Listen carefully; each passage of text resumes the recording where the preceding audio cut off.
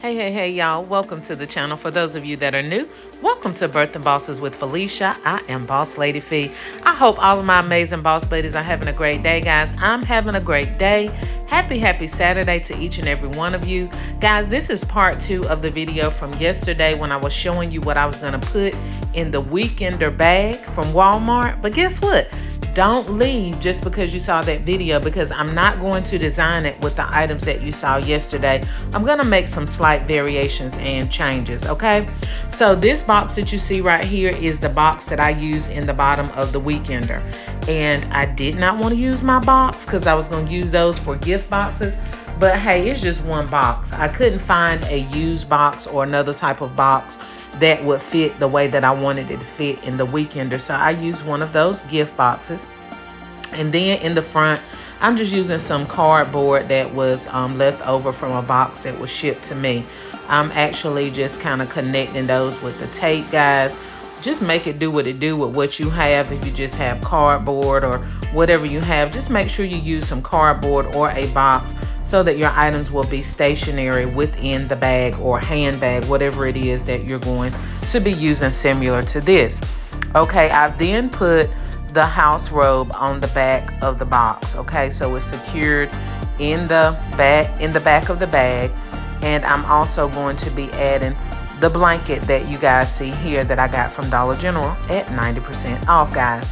Now, mind you, the house robe was free unto me, but I believe it came from Walgreens. And this candle that you see came from Dollar General, guys. It was 90% off. I think I paid like 70 cents for it. It is a green dot candle from last year.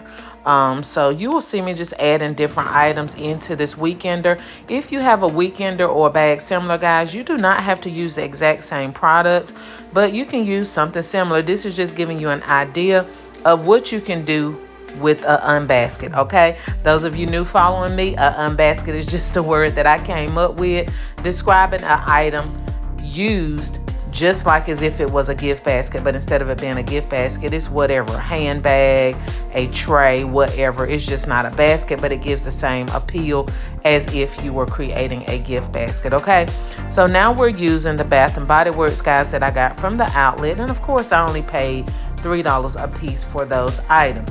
So go ahead and start tallying in your mind because one of the objectives in this video is to tell you guys, shout out to Miss Angela Norris, um, what it is that I'm going to be charging for this gift, okay? So here you see the socks that were attached to the ring of the um, Weekender.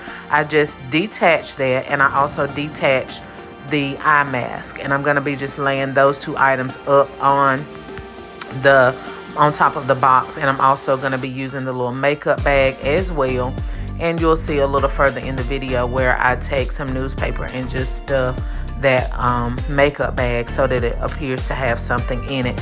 Whenever you're using a handbag or something like that, don't keep it flat. Make sure you use newspaper or something to fill it so that it will give an appeal of a filled item, okay? So I'm just going in, adjusting my items where I want them to be trying to figure out exactly what I want to put where. Okay, so as I stated, some of the items that I previously stated I would use yesterday, I am not using those items in this basket today, okay? We are just using um, the items that you see. Um, and yeah, you'll see right here where I stuffed that makeup bag. Okay, well, that's what I'm considering it as. I don't know exactly what um, it was listed as on the label, but it appears to be a makeup bag. So I just stuffed it to make it look like there was something on the inside of it. And I'm just going in, guys, and just checking it out, making sure things are the way that I want it. I added a loofah in there, which you will see later on in the video. I'm going to move and shift that over to another place.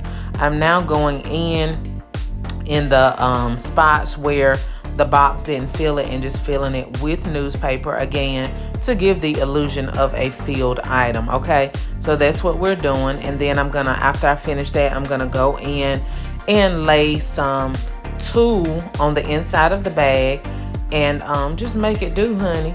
And here I'm adding a sign to the back of it because I have so many of those signs y'all. I can put them signs in every basket and probably still have some left over. So we're just going in and adding this just to give it an, another item to be added into the basket But guys, I want to go ahead and tell you what I paid for this basket. Now, because a lot of the items were gifted to me, um, me personally, I didn't put but about $10 in this particular gift, even if it was that much. Um, but if you um, shop 90% off like I do, and you got most of these items on sale, then we'll go ahead and stretch it and say you probably spent about $25 on this particular item, okay?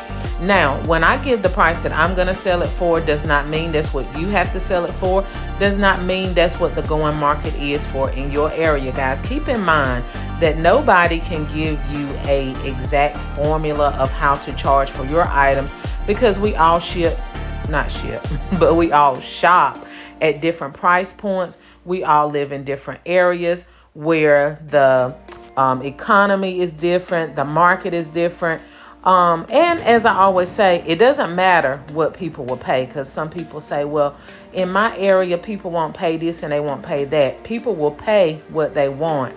But when I say charging by the market, not by what people want to pay, but what the worth is in the area where you are.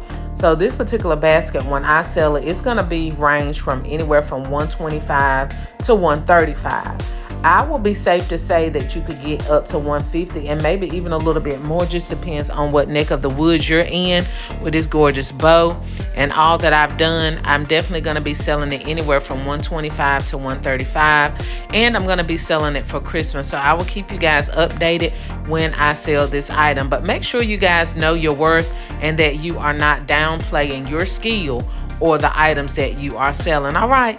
Meanwhile, get your money, honey, and fill your bag. To the next video. Bye, y'all.